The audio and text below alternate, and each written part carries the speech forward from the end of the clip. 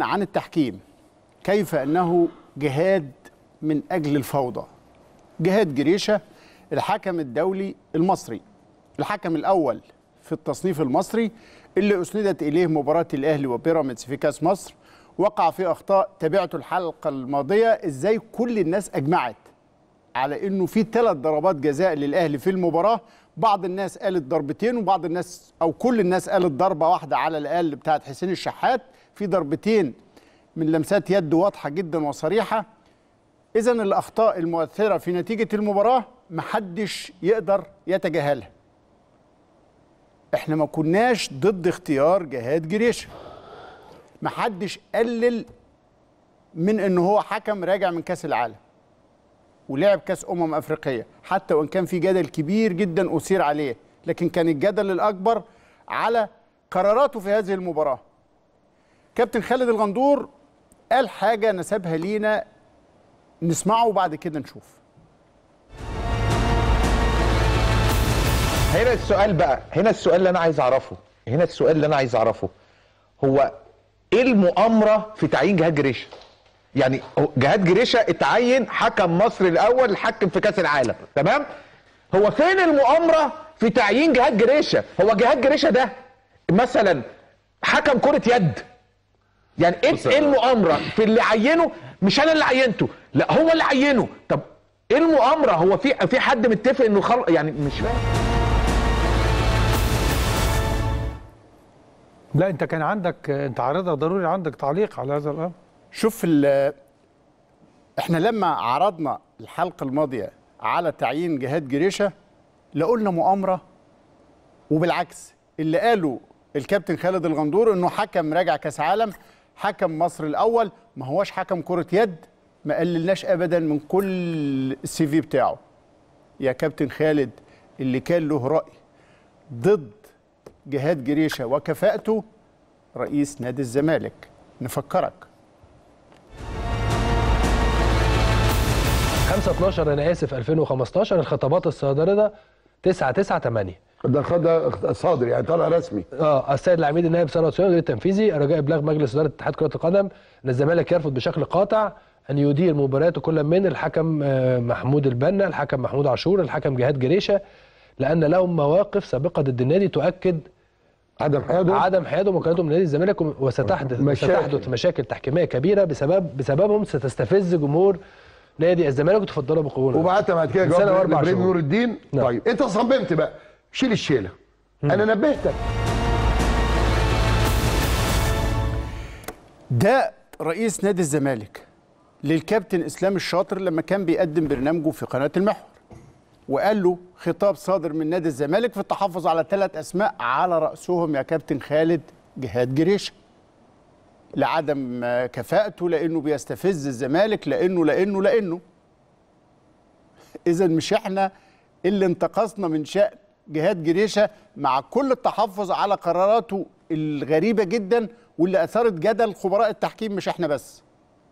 لكن التحفظ على جهاد جريشه ما قالهوش ال- رئيس نادي الزمالك في قناة المحور لا ده كمان قاله في قناة أبو ظبي.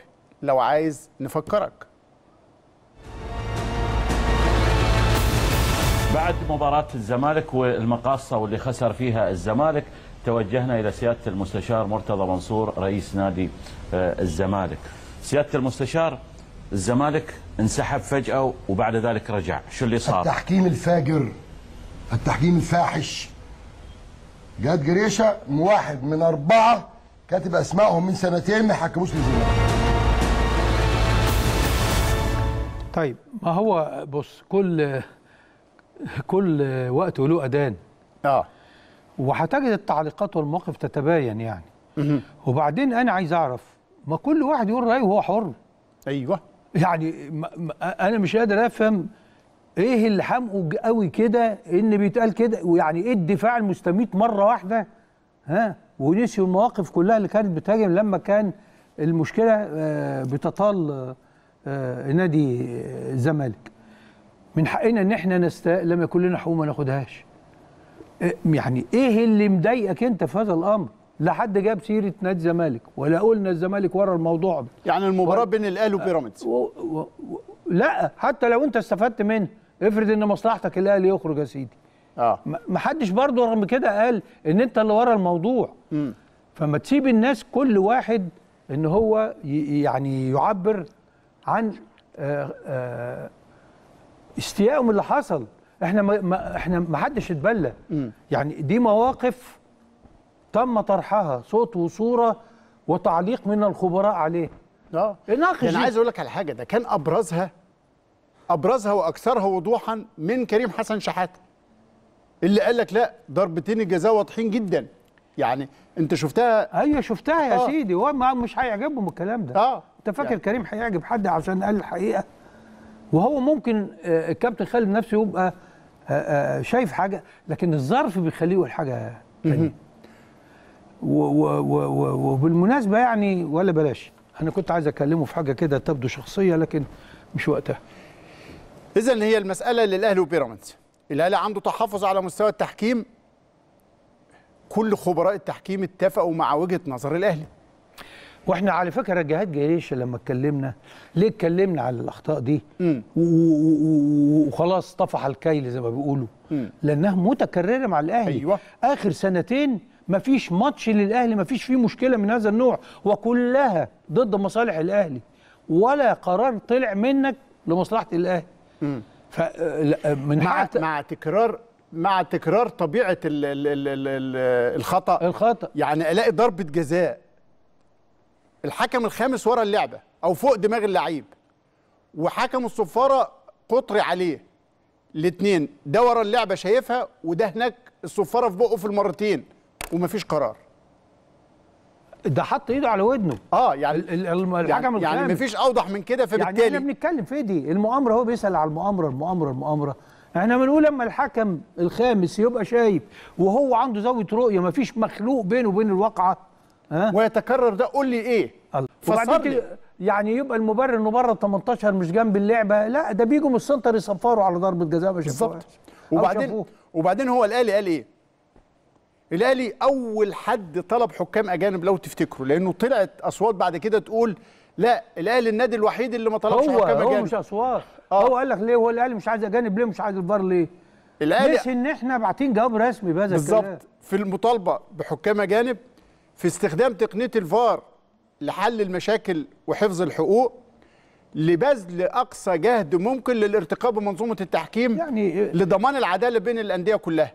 ده كان خطاب الأهلي مع بداية الموسم اللي فات لما أثيرت كل هذه المشاكل وتجدد الخطاب مؤخرا. آخر خطاب الأهلي بعته بعد مباراة بيراميدز سجل اعتراضه الحقيقي على ما يحدث من إهدار لحوق ظاهرة جدا وغير مبررة وغير مفهومة. وبعدين هو أنا بقول لك هات حكم الفار أو هات تقنية الفار في مبارياتي بس. أنا بقول لك بذل كل الجهود الممكنة لتوفير هذه الخاصية لحفظ حقوق كل الأندية. أنا عايز ألعب في مجال تنافسي نظيف يدي الحق لكل الناس.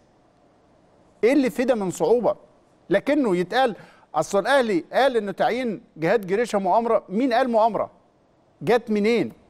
لكن فكرة إن أنا انت دلوقتي شايف جهاد جريشة كويس؟ لا أنا قلت لك انت كنت شايفه إزاي.